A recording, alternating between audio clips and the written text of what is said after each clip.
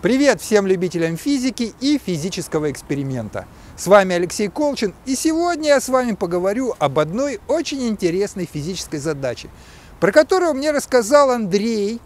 Он начал смотреть ролик Дерека Малера с канала Veritasium, э, выслушал формулировку задачи и решил, что дальше он этот ролик смотреть не будет, а решит ее сам. Ну, а я тем более этот ролик не смотрел, знаю о нем только из рассказа Андрея. А задача сама звучит так. Ну, представьте себе, что у вас имеется вертолет, с которого свисает длинная веревка. И этот вертолет движется с постоянной скоростью. Ну, достаточно большой, так что веревка отклоняется от вертикали. Ну и спрашивается, какую же форму примет веревка? Останется ли она прямой? Или же она будет изгибаться в одну или в другую сторону? Ну вот на этот вопрос мы сегодня и будем отвечать. Ну, веревка может как угодно изгибаться в любых местах, и поэтому это слишком сложный объект. И мы начнем с совсем простого объекта.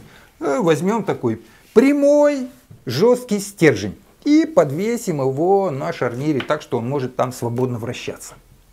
Ну, понятно, какие силы действуют на такой стержень. Во-первых, это вертикально вниз действует сила тяжести, а во-вторых, стержень отклоняется от вертикали силой аэродинамического сопротивления.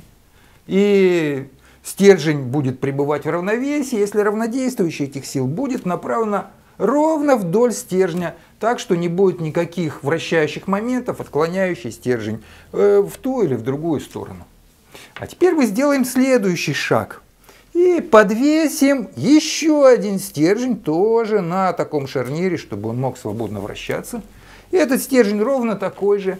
И если мы его подвесим под тем же самым углом, то э, равнодействующая сила, которая действует на этот кусок, будет направлена снова вдоль всей этой конструкции, и верхняя часть никак не изменит своего положения, будет по-прежнему пребывать в равновесии. И это действие мы можем продолжать раз за разом, наращивать нашу цепочку такими одинаковыми кусочками. И она будет прямой и при этом находиться в равновесии. Дальше мы можем сделать еще одно действие. И длину этих кусочков начать уменьшать стремить их, можно сказать, к бесконечно малым. И у нас получится модель веревки, которая точно так же будет оставаться прямой и никак не будет изгибаться ни в ту, ни в другую сторону. Вот какое предсказание дает наша несложная теория.